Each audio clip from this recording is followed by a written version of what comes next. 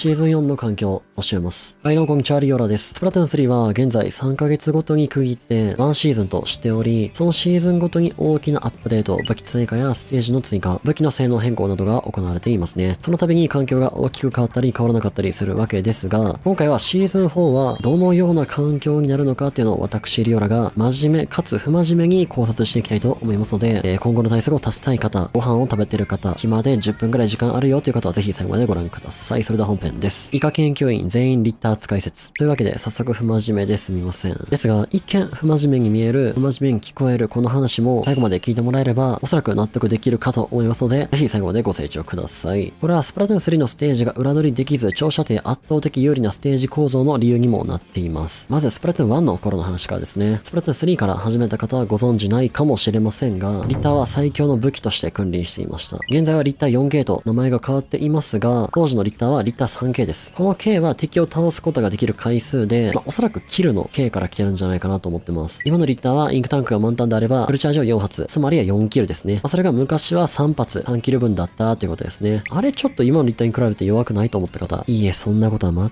全くありません。昔のリッターは 3K であるその代わり、射程がね、もう異次元の長さをしていました。現状のスプラトゥーンはリッター 4K が最長射程ですが、それよりも長く狙撃というよりはもはや砲撃という方がふさわしい化け物性能でした。そしてさらに昔は攻撃力アップというギアが存在していて、そのギアを搭載したリッターは、フルチャージしなくても半チャで敵を倒すことができるというアホすぎる性能だったんですね。考えたやつはバカなのでしょうか。で、さらにはそのリッターサブになんと食い棒がついていました。まあ、なので、やっとの思いでリッターに近づいたと思っても攻撃力アップをつけてダメージマシマシの食い棒に返り討ちにされると。あまりにも理不尽ですね。スペシャルもスーパーセンサーという一瞬で敵全員にセンサーをつけるという、リターとの相性が完璧な、そんな武器だったんですね。リタさんあまりにも高待遇なんですが、それでも1の頃はリタなしで勝てるチームも存在しました。なぜか、それは皆さんご存知、復活短縮ギアのおかげですね。1の頃の復活短縮は今の効果と違い、これまたぶっ壊れで、発動条件がなく、キルしようがしまいが復活時間が短縮されていました。ちょ強すぎですね。強すぎるあまり、上位プレイヤーはほとんどがこのギアをつけていました。なので、上位の環境ではもうほぼ全員が倒されても1秒とか2秒とかで復活してくるという意味のわからない、そういう環境になっていましたね。これがリッター対策になっていました。まあ、抜かれてもすぐ復活できますよっていうことですね。ところがどっこい、これを見たリッター使いの以下研究員は何をしたかと思えば、プラトゥーン2で復活短縮の効果を大幅に弱体化。まあ、ただこの復活短縮に関しては結構クソゲーと言われてたんで、まあいいでしょう。攻撃力アップギアもなくなって、リッターの反射キルがなくなったんで、いい感じかなと思いました。が、それで僕らプレイヤーが落ち着いたのいいことに、奴らはここぞとばかりにね、リッターを強化しだします。塗りを太くし、スペシャルを溜めやすくし、挙句の果てには鳴りを潜めていた復活ペナルティアップです。ギアの効果を省きます。調べてください。このギアは2から登場したんですけど、リッターと組み合わせることで、じわじわと本性を表して環境を牛耳り出します。上位体では対策法はあるものの、やはりね、ペナルティアップのリッターに抜かれるのは不快感が強く、上位体でも、初心者中級者の間でもかなりリッターに対する不満が見受けられました。ただしそこに救世主である、まあ僕はあんまり知らないんですが、噂で聞くには、イケメンイケボスーパーマッチョ高身長足長なんか画面越しからいい匂いがすると噂のスプラ解説者が現れます。その人はリッターに支配されたスプラ界隈にね革命をもたらします。それがね現在ではあまり聞くことがなくなったサイド展開ですね。皆さんも聞き覚えあるのではないでしょうか。後衛武器に対しては正面から戦うのではなく横や裏を取り味方と挟み込むことで対処していきましょうと。このサイド展開という言葉が生まれる前から敵を挟むという戦略は存在していました。したが分かりやすく言葉が生まれたことにより瞬く間にこの戦術は広がり、後衛武器に対して、ある程度対策ができるようになってきたんですね。それに合わせて、マルチミサイルがバカ流行りし、そしてハイパープレッサーですね。どんなに遠くからでも壁を貫通して攻撃してくるあの理不尽スペシャル。これも流行ったせいで、まあ、後衛武器、主にリッターは、かなりね、動きが制限されるようになり、最終環境でもある程度強かったものの、一番大暴れしていた頃に比べて、かなりマシになりました。そして月日は流れ、特に環境変わらないまま、スパラ3が発売されました。すると、なんということでしょうか。ステージは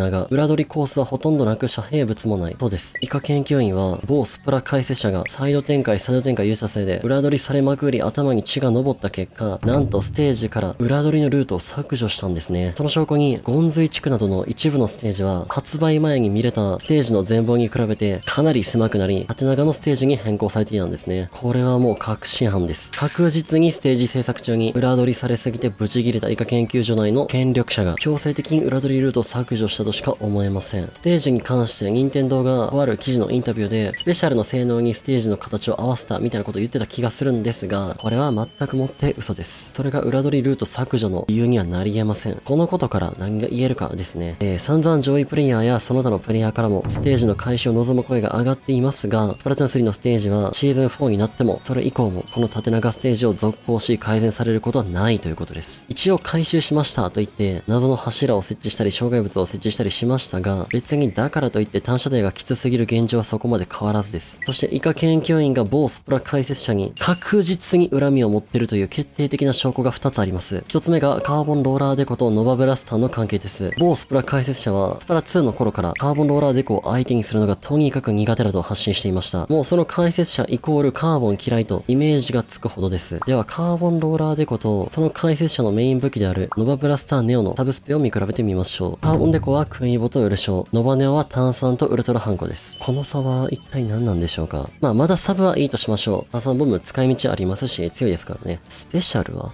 うんこです。情報が出た当時、みんなが笑いました。ノバブラスターオツと、喜んだのはごく一部の逆張りハンコ信者だけです。現環境裏取りもできない、機動力もない、そんなノバブラスターに自滅特攻用にウルトラハンコとかいうスペシャルをよこしやがりました。お前はこれでバカみたいに爆走してこいと、ざまあ見ろと、運営からのメッセージです。では、無印の食ワンダーはどうか、ジムワイパーの介護官です。ノバとしての存在意義は完全になくなりました。そしてもう一つは X マッチのミラーマッチです。スプラのやり込み要素といえば、やはり X マッチでパワーを上げること。これが代表的ですよね。スプラス3の X マッチにはミラーマッチというものが採用され、これ何かっていうと、似たような役割の武器同士がミラーでマッチングしやすくなりますということですね。で、そのミラーマッチでノバブラスターのミラー相手に来るのが、現環境で爆流行りしてる最強武器であるスクリュースロッシャーです。役割はお互い切る。射程はスクスロの勝ち。振りもスクスロの勝ち。機動力もスクスロの勝ち。サブスペもスクスロの勝ち。メインの応用もスクスロの勝ち。対面はどう考えてもスクスロの勝ち。嫌がらせです。完全に嫌がらせです。。機動力のないお前は永遠にスクスロの餌食になっておけと。そういうことです。しかもそれだけではありません。シンプルに対面がきついだけではなく、ずっと敵にスクスロが行くということは、味方に永遠に最強武器であるスクスロと戦わせなければいけないということです。きついのは、ノバブラスターだけではなく、そのノバがいるチーム全体ということなんですね。考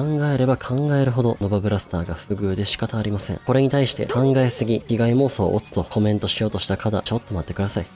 全くもってその通りです。完全に被害妄想ですが、現状のスプラ3の環境は、こんな被害妄想を生み出すことが容易なくらいバグり散らかしてるということです。このままではシーズン4も塗りができない単射程が息をすることはなく、ユーザーの立体に対する不満の声はやまないでしょう。ステージ回収のほどよろしくお願いします。マイナーチェンジ武器の登場で環境が大きく変わる。ここまでのアペルの傾向として、新武器の追加、マイナーチェンジの追加、新ステージの追加、新スペの追加とありましたが、さすがにまた次のシーズンで完全新しい新武器やスペシャルが追加されるってことはないと思うんですよね。一旦ストップです。で、まあ、新ステージ。まあ、これは追加される可能性ありますが、だからといって大きく環境が変わることはないでしょう。じゃあどうなるかって話なんですが、次はね、まだ登場してないマイナーチェンジが一気に追加されるんじゃないかなと予想してます。例えば、スクスロネオとか、ホットブラスターカスタム、ロングブラスターカスタム、立体 4K カスタムなど、あとバレルスピナーデコとかもそうですね。他にも色々たくさんあると思うんですけど、もう各武器、まだマイナーチェンジが出てない武器は、もう全部出るんじゃないかなぐらいの予想してます。じゃないとね、そろそろ出してあげないと、過去作プレイヤーかわいそうですし、そのアップデがあるとね、プレイヤーのモチベーションかなり上がるんじゃないかなと思います。で、そうなると、各武器にね、新しくサブスペがつくことになるんで、その組み合わせ次第ではかなり環境に新しい風を起こしてくれそうです。ロング使いは、スパラ1の組み合わせである、スプラッシュブーム帝王イカとか待ち望んでそうですね。今までの武器の傾向とか見ると、結構ね、つけるサブスペをスパラ1に寄せてる傾向があるんで、そういう点を考えると、つくサブスペはある程度予想できそうですね。まあ、気になるって方はぜひ、スプラ1の武器のサブスペ調べてみてください。まあ、ちょっと今回は、イカ研究員の陰謀論をね、長く語ってしまったんですけど、他にも予想あればぜひコメント欄に書いてみてください。